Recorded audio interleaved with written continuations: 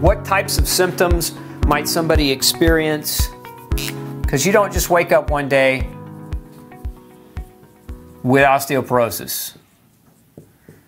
Generally, you have symptoms that precede that by many, many, many years, right? And so, what are we looking for in terms of symptoms that people might experience acutely? And one of them, with dehydration especially, is loss of acute loss of calcium leads to cramping in the muscles. And where we're going to see this most commonly is in the feet and in the calves. And one of the hallmarks kind of of calcium deficiency is that this happens primarily, it happens at night.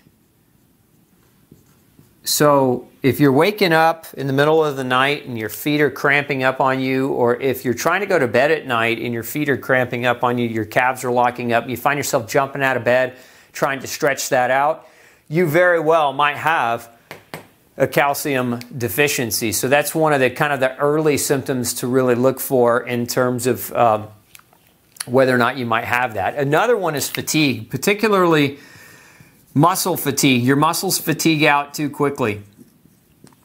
So, like if you're trying to work out and you're wondering, I used to be able to do a lot more, and maybe part of that is because you're deconditioned, but maybe it, maybe you've developed a calcium deficiency. You're not deconditioned, but your muscles are just getting fatigued much more quickly. Calcium deficiency will lead to that muscular fatigue and that muscular burning pain. So you might start developing that kind of that burning sensation in the muscle a lot sooner than what maybe is really typical of your past experience.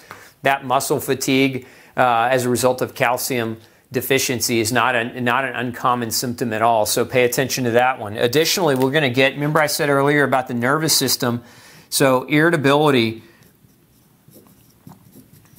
is another symptom that we're going to see with calcium deficiency. So agitation, quick to agitation. You just um, you you um, you jump off the gun. Maybe your temper's a little bit short, shorted. Uh, that can be a calcium deficiency as well. It can cause brain fog and word recall issues. Remember, we're talking about an electrolyte in the brain, so it's going to create a stopgap between the way brain cells can communicate. So these are all really quite common symptoms of a, of a earlier onset calcium deficit. And oftentimes, too, um, what will happen for people with the muscular fatigue is they'll experience tightness in the muscle. So think of it as poor flexibility, but I'm not talking about the person that's never been flexible their whole life. I'm talking about somebody who's like, I don't know why, but I used to could touch my toes and that's getting harder and harder and harder to do. The muscles when they're fatigued and when they're cramping, like these kind of really go somewhat hand in hand.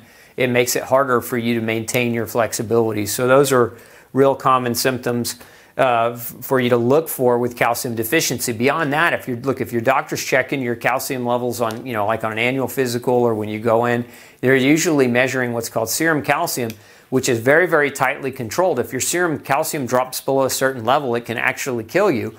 And so your body's really, really good at maintaining the that. Remember, I said less than one percent of that calcium is in your is in your serum. The other 99% is in your bones. So your body has this huge buffer where it can push more of that calcium from your bone into your blood if your diet is chronically low over time. And again, this is part of what can contribute to bone loss and osteoporosis, although it, osteoporosis has many other, you know, many other pathways to creation, not just calcium. So again, look for these things to potentially occur uh, first.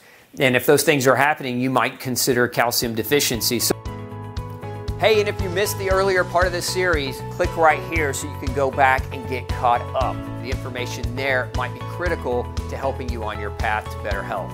And as always, thanks for tuning in. Make sure you subscribe for updates below. Have a great day.